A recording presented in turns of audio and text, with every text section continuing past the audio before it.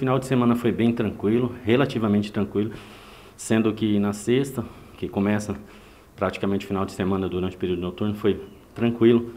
No sábado também foi bem tranquilo. E só na data de ontem que teve uma ocorrência de agressão do esposo contra sua esposa. A gente chegou em casa, enche a cara de cachaça no boteco, aí chega tarde, deixando a mulher em casa, pensa que a mulher é escrava, queria um peixe. A mesma falou que ia demorar a fazer esse peixe. O marido foi agrediu ela verbalmente, xingou ela com palavra de baixo calão. O rapaz não dá valor na esposa, aí depois que ela abandona, que ele chegar e pegar a dor de um lar vazio, sem aquela que dedica carinho, amor, que é a esposa, ele vai ver o que é sofrimento.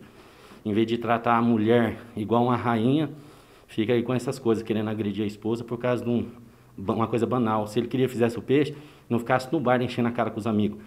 Aí depois que ele começar a ir pro bar ou pra academia e o mendigo aparecer lá, ele vai achar ruim, né? Então, trata melhor a mulher porque se o cara não trata a mulher, pode ser que um mendigo trate bem, né? E acontece esse tipo de coisa. Então, é uma situação familiar muito ruim até de ser atendida, porque vê um lar desmanchando por causa de uma coisa banal, o marido agredindo a esposa. A orientação que a gente dá para ele, ele foi conduzir tudo. A orientação, ele, se ele ter outra chance dela, ele tratar a mulher igual uma princesa, igual uma rainha, que é do jeito que as mulheres merecem ser tratadas. A outra situação aconteceu agora há pouco tempo, os menores aí de moto, sem habilitação, é, correndo bastante pela cidade, colocando em risco todo mundo.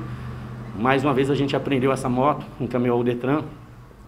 A moto com aquele roncar que também faz um barulho enorme, que muita gente gosta de pôr roncar, falando que ele é vendido. Mas ele é uma situação off-road, moto de motocross, o pessoal pôr roncar. Ele, nesses casos, é, é, o pessoal põe para ir na área rural e não na área urbana. Ainda usa o veículo para fazer graça, para correr dentro da cidade. Então a fiscalização no trânsito vai ser bem rigorosa. Vamos estar atuando aí durante o dia, durante a semana sempre, coibindo esse tipo de barulho. O pessoal tem que andar dentro da lei.